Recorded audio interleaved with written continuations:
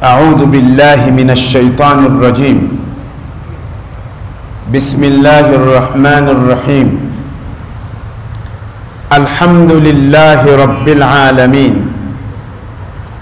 اللهم صل على محمد وعلى آل محمد كما صليت على إبراهيم وعلى آل إبراهيم.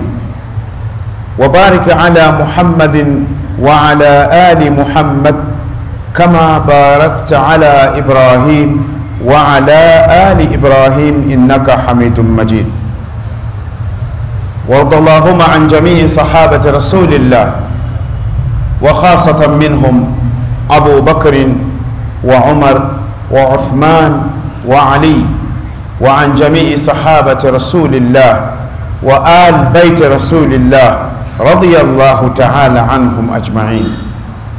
رب اشرح لي صدري ويسر لي أمري واحلل عقدة من لساني يفقه قولي أعوذ بالله السميع العليم من الشيطان الرجيم من همزه ونفخه ونفثه Ndugu zangu, tunakwenda katika darasa letu, tunaingia awamu ya pili na ya mwisho katika mwezi wa Shaaban ili tuweze kuingia katika mwezi mtukufu wa Ramadhan. Tunamwomba Allah subhanahu wa ta'ala atufikishe ndani ya mwezi wa Ramadhan tukiwa na afya njema, pamoja na Waislamu wenzetu ambao ni wagonjwa, Allah awape afya njema, pamoja na wagonjwa wengine waliopo majumbani, mahospitalini, wengine wanalazimika watembee duniani kwa sababu ya kutafuta riziki zao. Allah awape afya njema. Ndugu zangu, leo tukumbushane, tupeane mambo ambayo nitakuomba muishi nayo mpaka mwisho wa kila mtu pumzi yake. Mwenyezi Mungu Subhanahu wa Ta'ala ametuambia katika Qur'an, fadhkuruni adhkurukum, nitajeni mimi Mungu wenu na mimi nitakutajeni nyinyi waja wangu. Hiyo ni aya katika Suratul Baqara aya 156. Allah anatwambia namna hiyo, fadhkuruni adhkurukum washkuruli wala takfurun. Sura ya pili na saba mia mbili ishirini. Allah anasema watawakkal ala alazizi rrahim, na umtegemee Mola ambaye ndiye mwenye utukufu na ndiye mwenye huruma kwa waja wake. Alladhi yaraka, ni Mungu wako ambaye aliyekuumba anakuona hina taqum, wakati unaposimama, wataqallubaka fi sajidin, na katika kuelekea kwako katika wale wanaomsujudia. Allah akasema innahu huwa samiul alim, Allah ndiye anayeyasikia yote ya waja wake na yeye ndiye anayeyajua. Hapa tuliyopo ndani, Allah anasikia lakini kuna baadhi ya viumbe waliopo hapa msikitini wanaongea, hatusikii sauti zao, na wanaongea kwa sauti, wanaelezana yale wanayoelezana, lakini hatusikii sauti. Hapa tulipo tuna Waislamu wenzetu, ndugu zetu majini, wameswali na sisi salatu asr, na wamekaa na sisi hapa jirani, wanasikiliza darasa, na wakitoka hapa watakwenda kwa majini wenzao kwenda kuwafikishia kwamba leo tumefundishwa nini na shekhe Rusagani. Wanaambizana lakini hatusikii, lakini Allah assamiu, Allah anasikia kinachosikika kwa wanadamu na kisichosikika. Alalim, Allah anakijua kinachojulikana na kisichojulikana. Ukirejea kitabu kinachoitwa Talabul Husna fi ihsai asmai llahi lhusna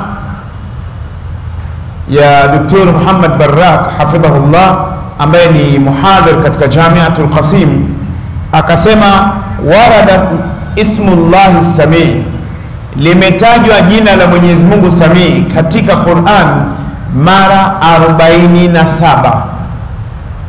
assamiu limetajwa katika Qur'an katika sura 114.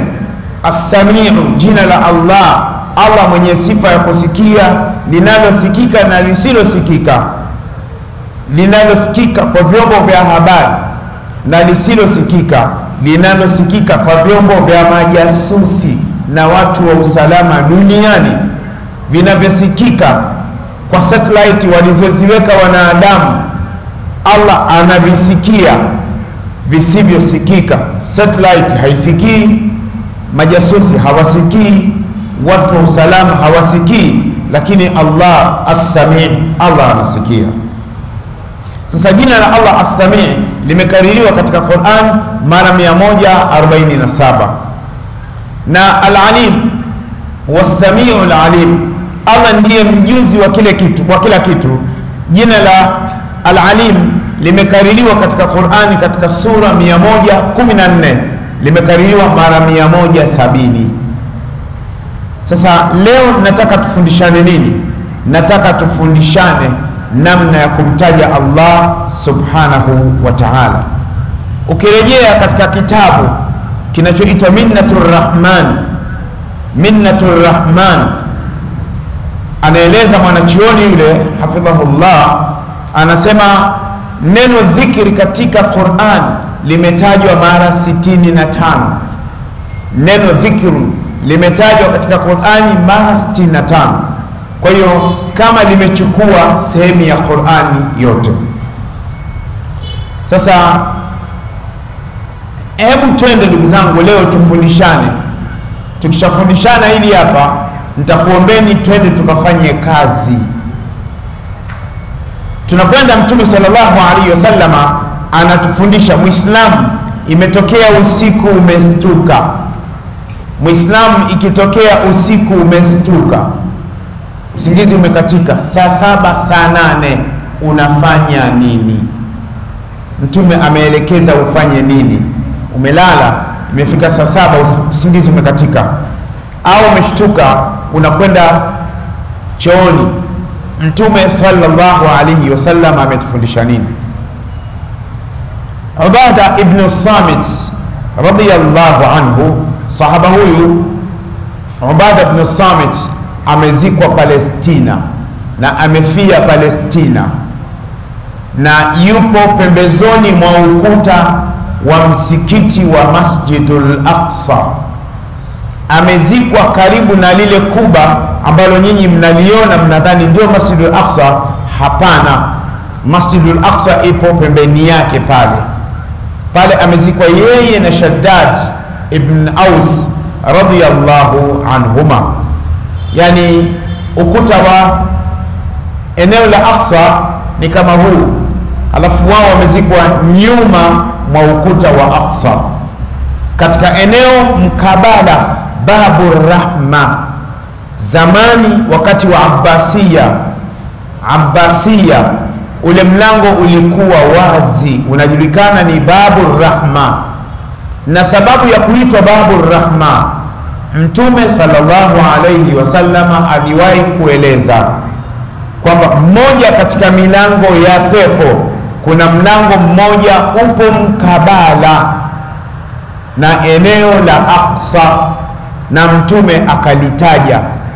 Wakati analitaja hili eneo, masahaba hawa wawili, huyu Ubada ibn Samit radiyallahu anhu na Shaddad ibn Aus si tunamwita Shadadi, lakini ni Shaddad ibn Aus radiallahu anhuma, wote kwa pamoja wakaziwa wakasema, ikitokea nimefia aksa basi nizikwe hapa, na mwingine akasema, ikitokea nimefia aksa basi wote makaburi yao yapo pamoja, kaburi moja hili hapa na kaburi moja hili hapa, na wameelekea qibla.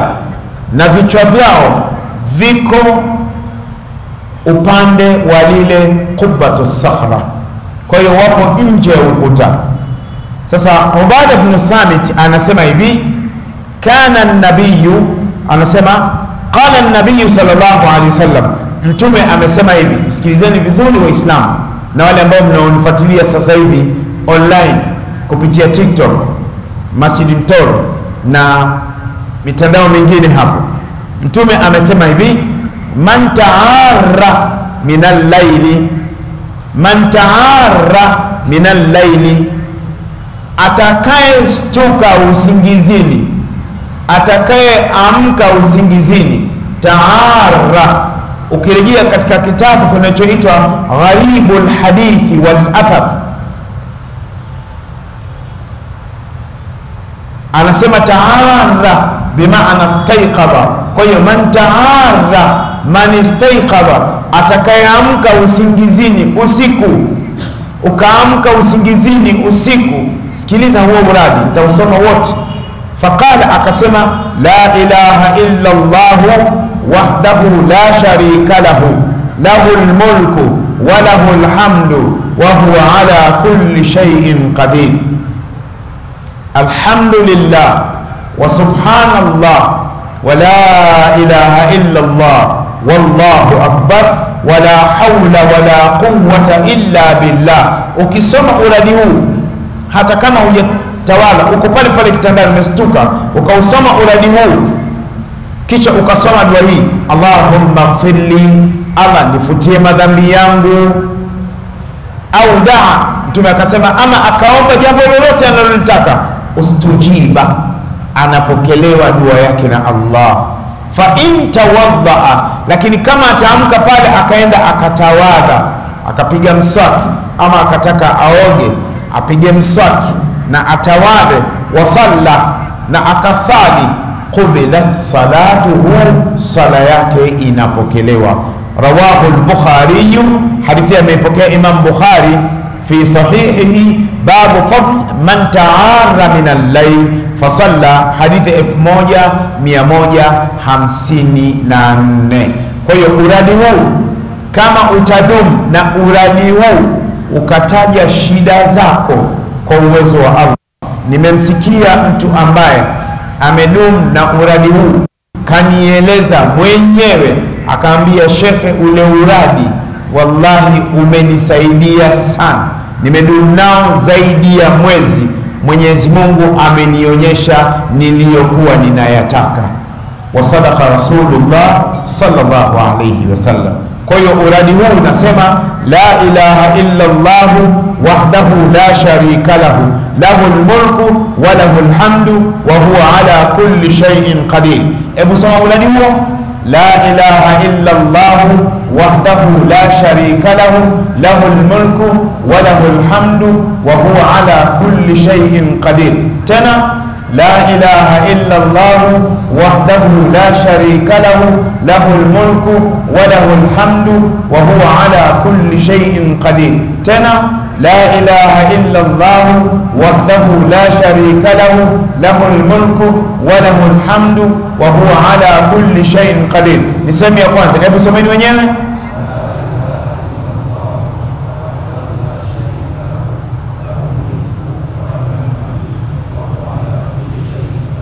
Tena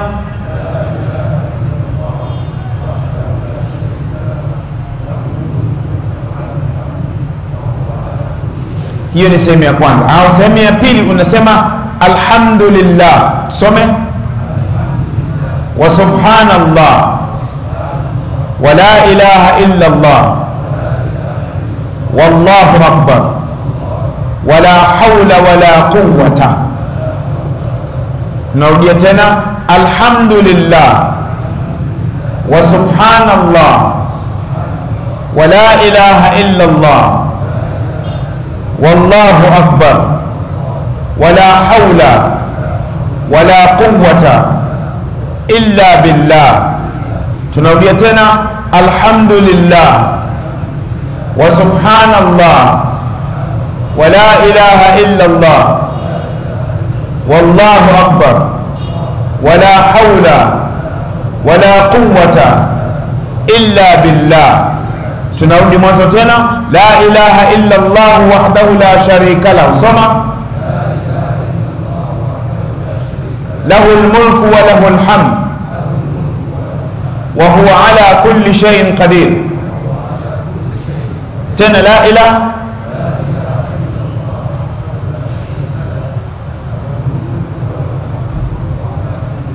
سمي بيلي الحمد لله. تنا تنا وسبحان الله. تنا تنا tunarudia alhamdulillah wa subhanallah wa la ilaha illa Allah wallahu akbar wala haula wala quwwata illa billah tunarudia tena mara mwisho la ilaha illa Allah wahdahu la sharika lahu lahu almulku wa lahu alhamdu wa huwa ala kulli shay'in qadir soma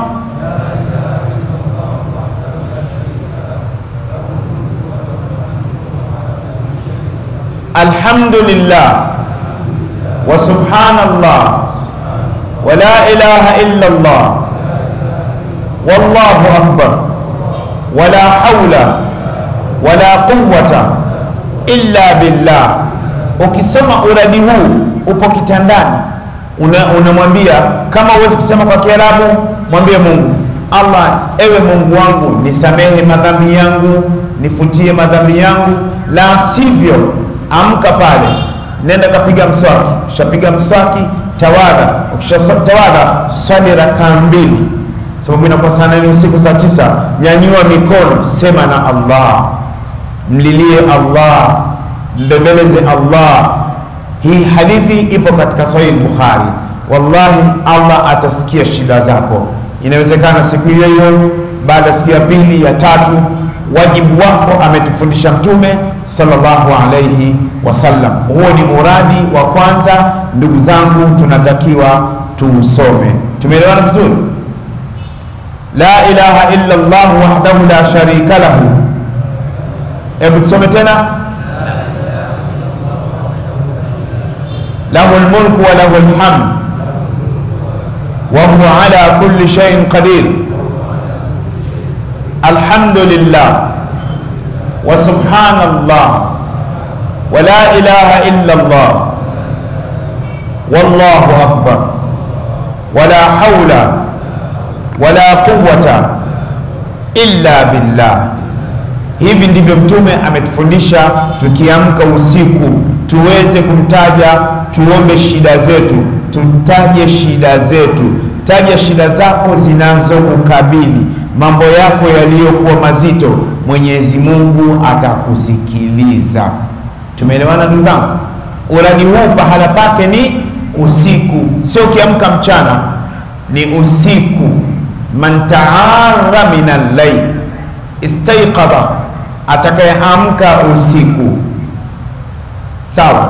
Kwa hiyo kwa mfano umelala saa tatu, umelala saa tatu, imefika saa nne, saa tano, saa sita, saa saba umeshtuka ukishika smartphone imekuvuruga. Dawa yake kumbuka tu, nenda katawana, piga mswaki. kushapiga mswaki tawadha, na ukitaka kuoga ili mwili uchangamke, sawa, la sivyo piga mswaki. kushapiga mswaki tawadha, kushatawadha unasali rakaa mbili, usali rakaataini lillahi taala, Allahu akbar, alhamdu na sura yoyote unayoiweza, kisha rakaa ya pili alhamdu na sura unayoiweza.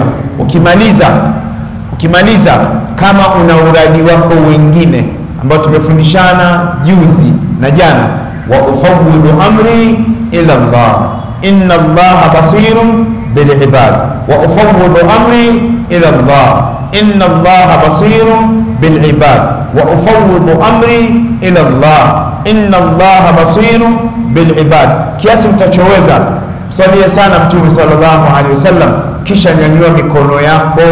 Ya Rabbi, umeniahidi nikikuomba utanijibu, na kuomba mimi mja wako, mja wako na madhambi yangu, nimekukosea ya Rabbi, nina dhiki, nina shida. Ya Rabbi, ninauguliwa. Ya Rabbi, ninauguza. Ya Rabbi, ninatafuta ajira. Sipati ya Rabbi, natafuta sijui nini. Sipati. Ya Rabbi, na hili. Ya Rabbi, kuna hili. Ya Rabbi, kuna mtu kanionea, kuna mtu kanichukulia mali yangu kwa jeuri yake, madaraka yake.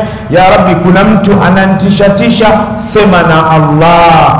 Wa ufawwidu amri ila Allah. Inna Allaha basirun bil ibad.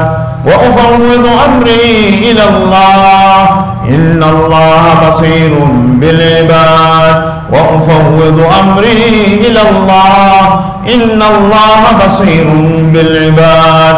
Sema na Allah, mlilie Allah, mbembeleze Allah, mdhalikie Allah, halafu umuone naye atakufanyia nini. Zangu? Tumesema Mtume ametuambia Muislamu mwanamume mwanamke akiamka usiku sawa, akiamka usiku akaomba. Lakini je, mwanamke yupo katika ada yake na uradi huu ana uhitaji, atafanya nini? Yupo katika ada yake pale pale kitandani, Mtume amesema asome ule uradi la إله إلا الله وحده لا شريك له له الملك وله الحمد وهو على كل شيء قدير الحمد لله وسبحان الله ولا إله إلا الله والله أكبر ولا akbar ولا قوة إلا بالله la quwwata illa billah. Mtume akasema akiomba aseme Allah nifutie madhambi, Allah anafutia madhambi yake, au akiomba shida yake stujiba, dua yake inapokelewa. Uradi huu naomba tushikamane nao ndugu zangu vijana wa kiume, vijana wa kike, watu wazima wa kiume, watu wazima wa kike, tushike uradi huu. Mimi ninaamini tuna shida zetu, tuna dhiki zetu, tuna mambo yetu. Tuombe mambo ya kheri kwa ajili ya Allah subhanahu wa ta'ala. Mmenielewa jamani, darasani vizuri? Mmenielewa? Tutaurudia huu uradi tena kabla ya darsa.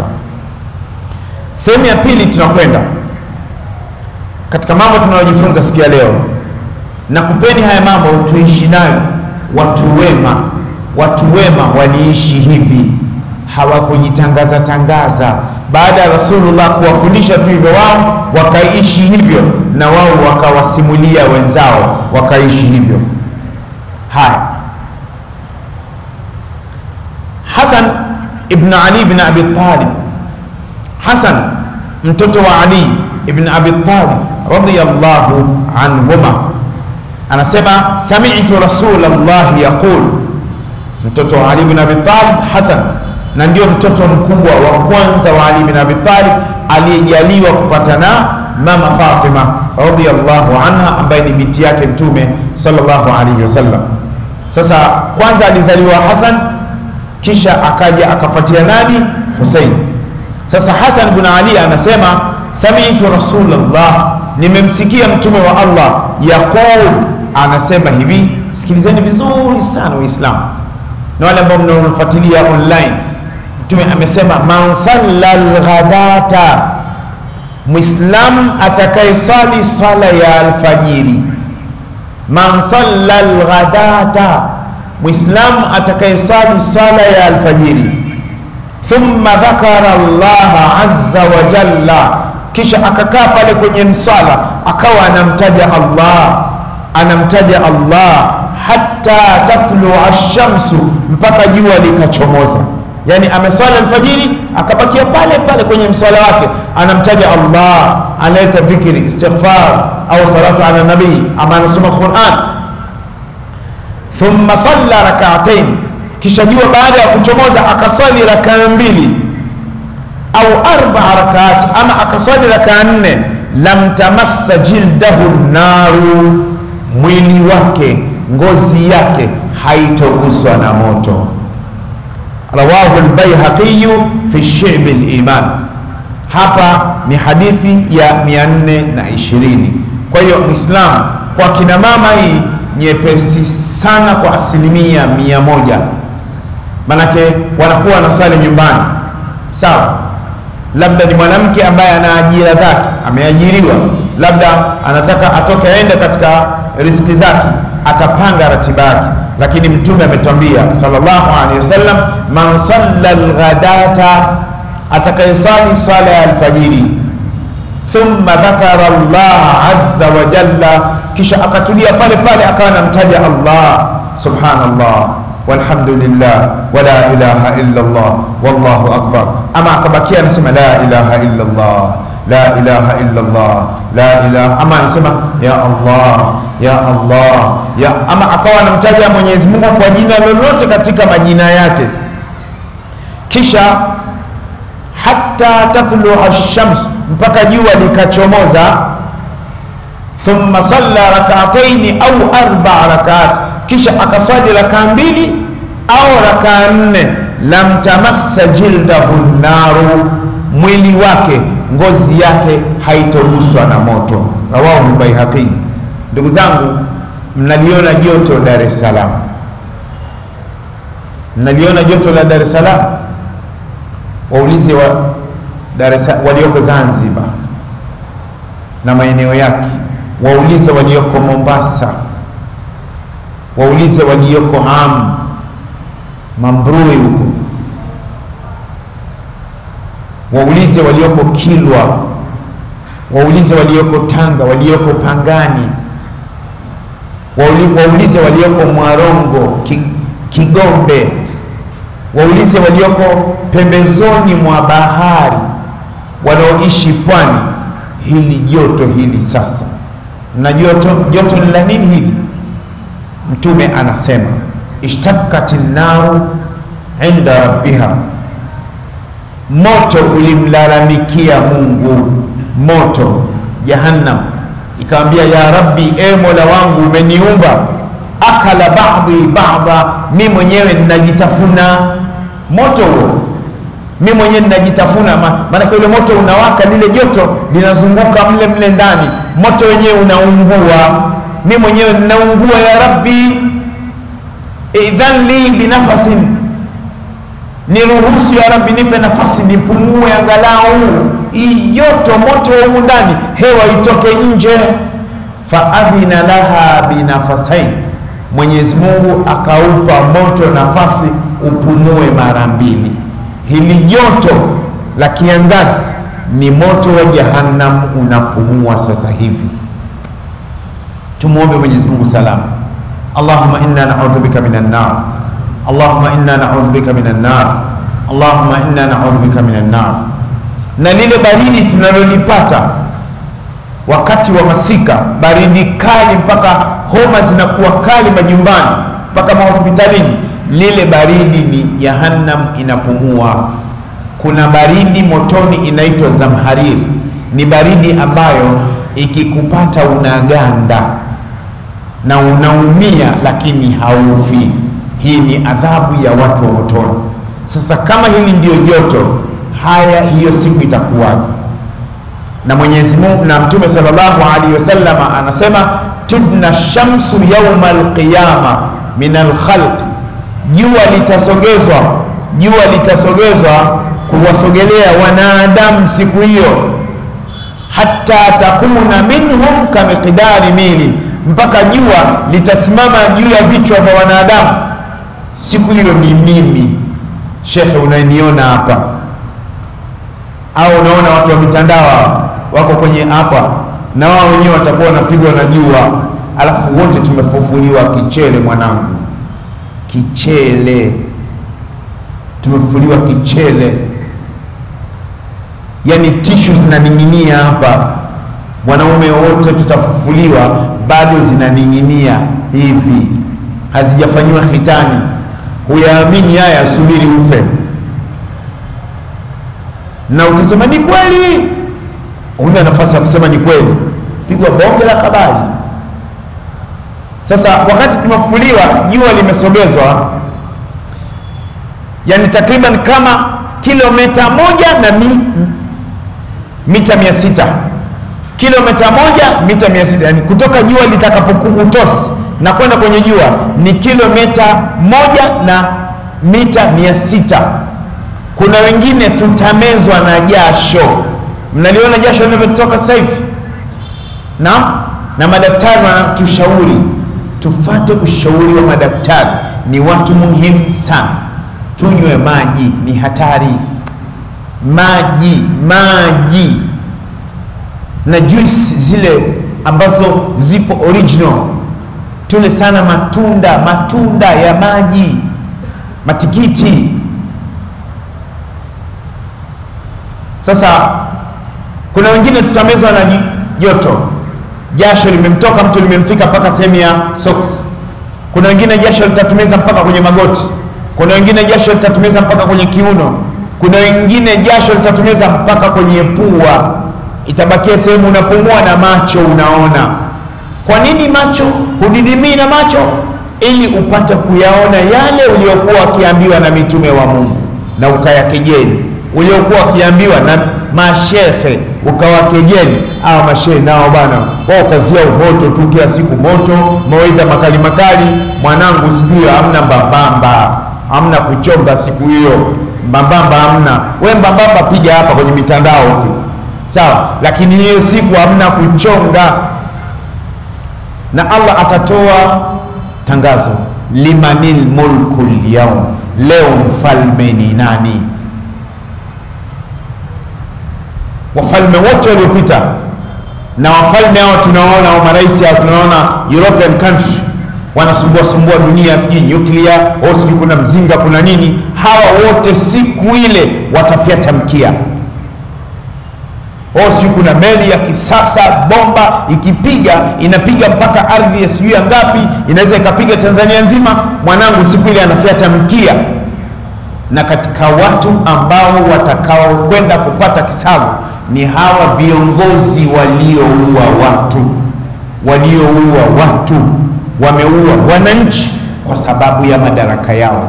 Moto hawaukwepi na kama wewe ulimroga mtu, ulimroga, uliwanga usiku, ulimchukulia mtu nywele za kwapani na kucha, ukamuondoa na ngozi za kwenye kisigino, mwanangu, siku hiyo unakuja. Kichele na una ushahidi hapa. wajaat kullu nafsin maaha saiqu wa shahid wajaat kullu nafsin maaha saiqu wa shahid wajaat kullu nafsin maha saiqu wa shahid, atafufuliwa kila mtu siku hiyo, saiq nyuma na malaika, wa shahid na ushahidi wa yale aliyokufa nayo. Kuna baadhi ya sisi wanamume tutafufuliwa tuna sehemu za siri za wanawake kama saba nane, wote hawa ulidanga nao mwanangu, wote ulidanga nao. Na wanawake wengine watafuliwa ana sehemu za siri za mwanamume kama nane tisa, wote hawa alidanga nao. Huyaamini haya? Subiri ufe mwanangu, utayaona. Kila mtu tafuliwa, Wewe uliua na unafuliwa na bastola, ulimpiga mtu, unafuliwa na kijichupa cha sumu. Mimi Msaganya nitatolea ushahidi kwa yale madhambi niliyokufa nayo nayafanya. Huyaamini haya? Utaona kama na napiga porojo. Mwanangu, wewe kalia hivyo hivyo, wewe bakia na ujinga ujinga wako huo. One day my friend, utaona sasa Muislamu anabakia anasali salatu lfajr kwenye msala.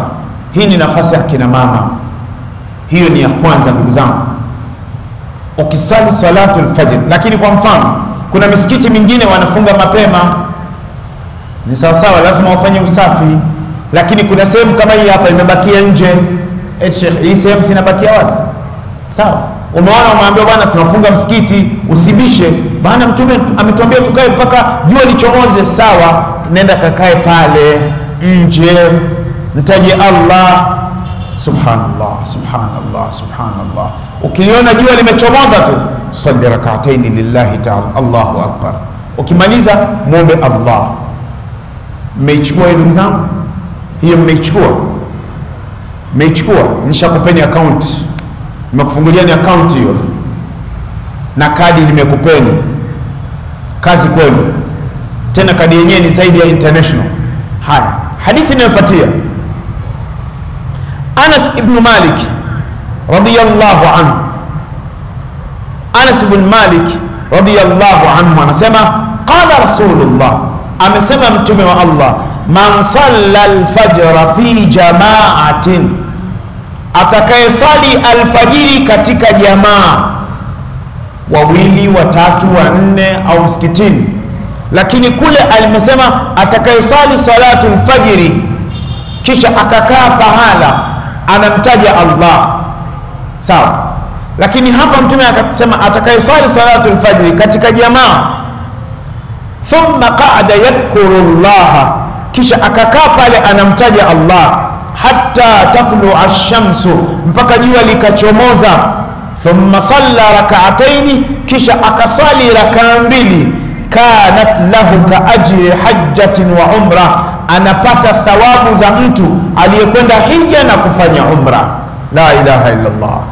Qala Rasulullah, Mtume akaweka msisitizo tamatin tamatin tamatin. Rawahu Tirmidhi. Babu ma dhukira mimma yustahabu min aljulus, hadithi ya 586. Hapa tunapata fundisho ndugu zangu, hizi ni katika moja ya sunna ambazo zimetupotea. Sawa, we shika sunna hii, mwenzako anashika suna hii na yule anashika suna hii. Wengine mashaallah, unaweza kumkuta mwili wake wote umejaa sunna, lakini kuna mwingine ana sunna moja tu ndio anadumu nayo, na kuna mwingine ana sunna mbili. Tusizozane, tusikejeliane, tusichekane. Wewe unamnini mwenzako namna hii, kumbe ana sunna ya qiyamu layl. Wewe unamwona mwenzako yuko hivi, kumbe ana sunna, kila akitawadha anaswali rakaa mbili za udhu. Siku moja Mtume alimuuliza Bilal mbele ya Abu Huraira, akamwambia ya Bilal, sami'tu dafana alayka fil janna, Bilal, nimesikia unatembea peponi wewe, miguu yako. Unajua kuna mtu ukishamzoea, kwa mfano tukiwa ndani, hata nyumbani unaweza kuwa uko ndani, ukisikia mtu anatembea, huyu fulani, mwendo unaujua. Sasa Mtume akamwambia Bilali, nimeusikia miguu yako unatembea peponi. Unafanya ibada gani Bilali mpaka wewe unakwenda kutembea peponi? Akamwambia, ya Rasulullah, katika ibada kubwa ninaifanya mimi, kila nikitawadha usiku au mchana, lazima niswali rakaa mbili za udhu. Kwa hiyo unaposali rakaa mbili za udhu baada ya kutawadha, unaweka salio unaongeza MB tu na zile MB haziishi zinabakia. Qurani inasema kullu nafsin bima kasabat rahina, kila mwanadamu mwislamu mwanamume, mwanamke, maskini, tajiri, mwana kila alilolifanya amewekewa akiba. Kwa hiyo hizo ni swala mbili, ndugu zangu, na kuombeni tusiziache ni sala moja hiyo kwa ajili ya salatul fajr. Ya mwisho kwa siku ya leo, Abu Dharr al-Ghifari radiyallahu anhu, sahabiyun jalil, yuhadithu an an-nabiy alayhi salatu wassalam, anasimulia hadithi kutoka kwa Mtume. Mtume sallallahu alayhi wasallam anasema yusbihu ala kulli sulama min ahadikum sadaqa. Sikilizeni vizuri sana kila mtu asubuhi akiamka, mfupa wake mmoja unatoa sadaka, na mwanadamu ana mifupa mia tatu na sitini. Mwanadamu ana mifupa mia tatu na sitini. Tumeyajuaje? Madaktari walikuwa hawayajui haya. Hakuna Oxford, hakuna UDSM hakuna sijui nini, hakuna daktari. Muhammadun sallallahu alayhi wasallam, Muhammadun sallallahu alayhi wasallam, Muhammadun sallallahu alayhi wasallam, Nabiyullah sallallahu alayhi wasallam, Mustafa sallallahu alayhi wasallam, Ahmad sallallahu alayhi wasallam, Habibullah sallallahu alayhi wasallam anaeleza Mtume kitu ambacho madaktari walikuwa hawajaeleza, wamejua hawakujua. Msikilize Mtume Muhammad sallallahu alaihi wasallam. Ile hadithi ya kwanza naiacha tuja hapa. Mtume akasema, huyu Buraida sahaba anasema, sami'tu Rasulullah yaqul, Buraida anasema nimemsikia Mtume kwa masikio yangu anasema hivi, al-insan fil insani thalathumiat wa sittuna mafsila, katika mwili wa mwanadamu kuna mifupa mia tatu sitini. Katika mwili wa mwanadamu kuna mifupa mia tatu na sitini. Fa alayhi an yatasaddaqa, anatakiwa mwislamu aitolee sadaka an kulli mafsilin minhu kila mfupa mmoja autolee sadaka kila mfupa mmoja katika 360 autolee sadaka masahaba wakamwambia waman yutiqu dhalika ya nabiy allah? Nani ataweza kutoa sadaka 360 kwa siku? Sikiliza vizuri. Kaa vizuri usikilize. Haya sadaka 360 unawezaje kuzitoa? Mtume akasema annukhaatu fi lmasjidi tadfinuha. Makohozi makamasi umekuta msikitini mtume alikuwa anazungumza wakati ule hawana mazulia kama hivi. Sawa? Umekuta uchafu msikitini ufukie. Wa shay'a tuna tunahihi ani tariq.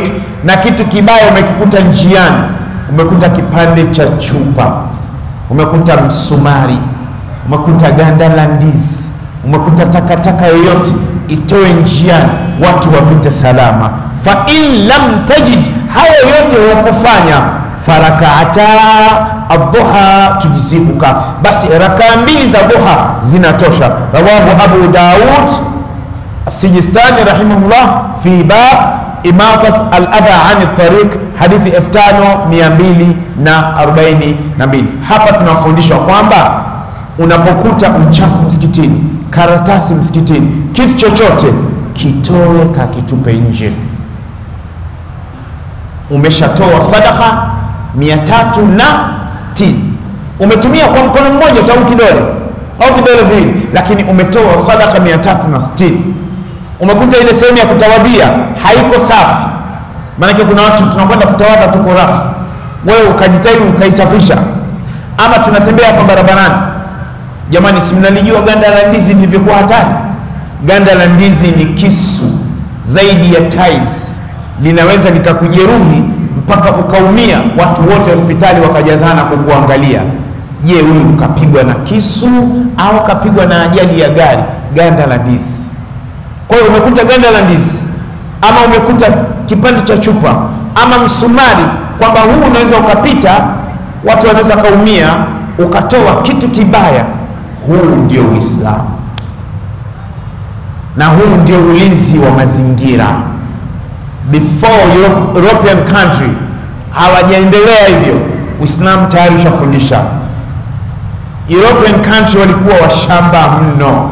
Hii un umoja wa mataifa un umeanzishwa mwaka 1945 katika mji wa san francisco.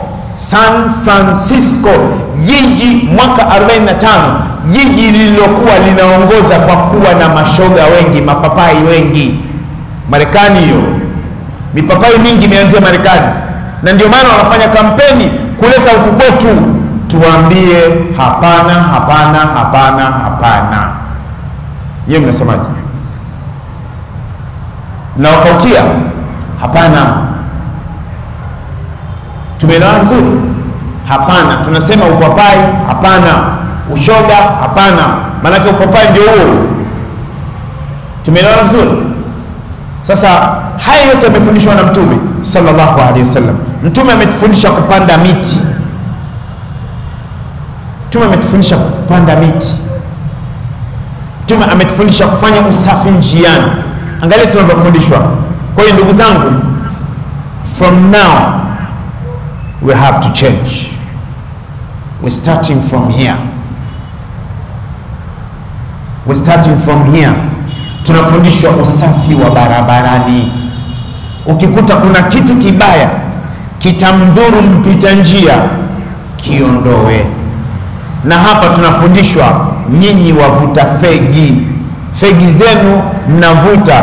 Kwanza mnavuta sumu ukitupa chini kanyaga na kiatu ule moshi akiuvuta mtu asiyevuta sigara ni sawasawa amevuta sigara tano. Ni hatari.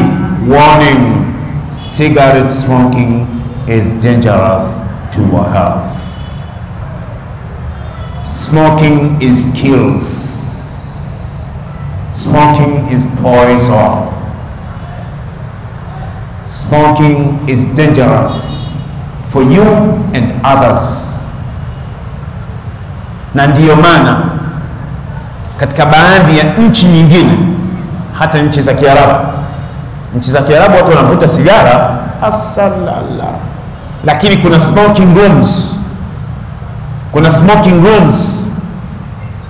Kwa Kiarabu inaitwa ghurfatul mudakhinin.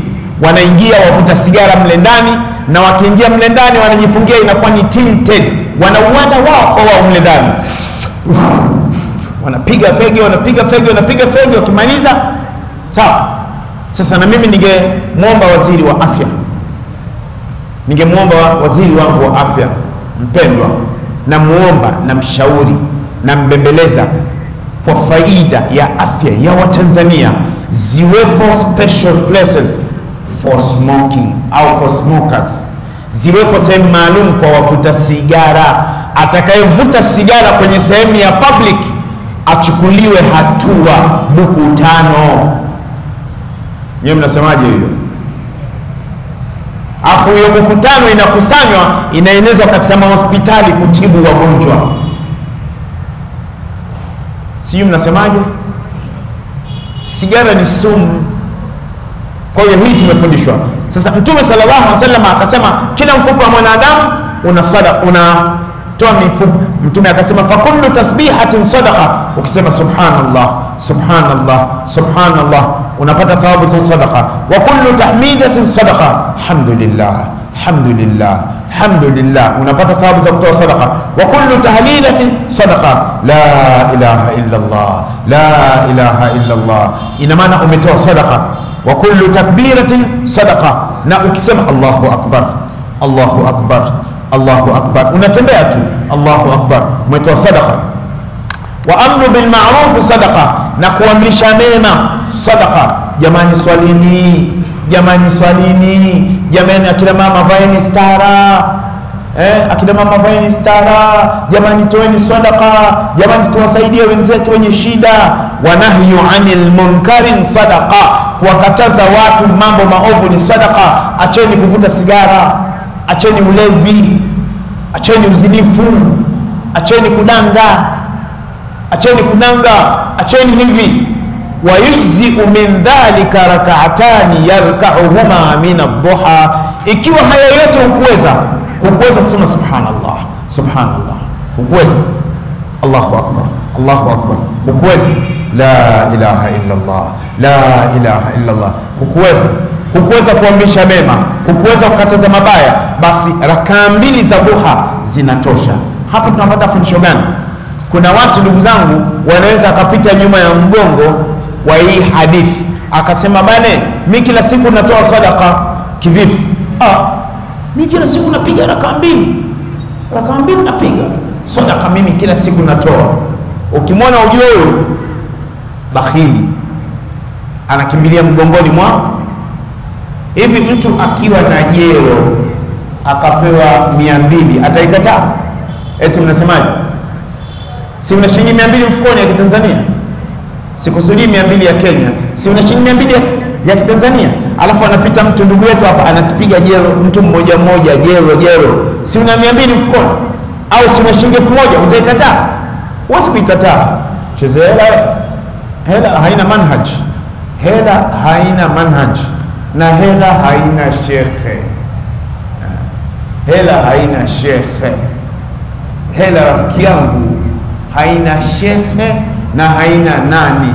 Hela mtihani, hela ni mtihani. Kwa hiyo ndugu zangu, leo nimekupeni zawadi na arudi kwenye uradi la ilaha. Ukiamka usiku, ukiamka usiku, soma ule uradi la ilaha illa Allah wahdahu la sharika lahu lahul mulk wa lahul hamd wa huwa ala kulli shay'in qadir.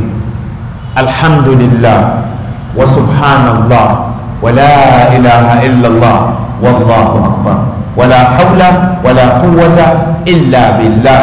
Kisha unamwambia Allah, nisamehe madhambi yangu, ya Rabbi, nisamehe madhambi yangu. Ukipenda unatawadha. Kwa hiyo una choice mbili, unaweza ukasema Mungu nisamee madhambi yangu na ukaomba shida zako, Mungu mtume anasema istijiba, na unaweza ukaamua usali rakaa mbili, sala yako itakubaliwa. Kwa leo tuishi hapa. Allah atupe afya njema, atufutie madhambi yetu, atuondolee mazito yetu na atujalie katika watu wema. Lau kama sisi hatupo katika watu wema, tunamwomba Mwenyezi Mungu kwa huruma zake atuondolee joto lililozidi katika miji ya pwani. Ya Rabbi, tunakuomba. Kama ni madhambi yetu, ya Rabbi tunakuomba utusamehe, tunakuomba ya Rabbi utusamehe, tunakuomba ya Rabbi utusamehe.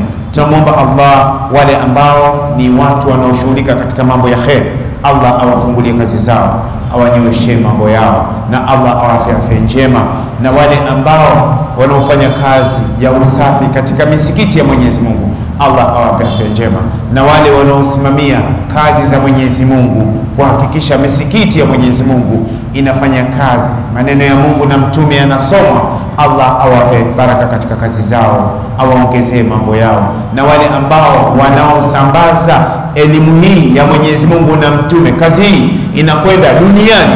Kuna Waislamu wanapata faida sana sana sana sana kupitia mitandao hii.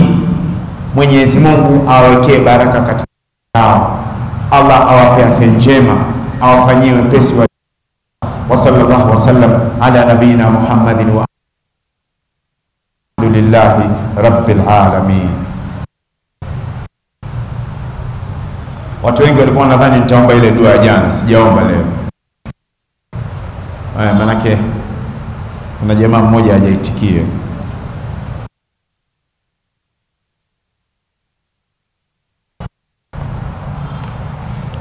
Allah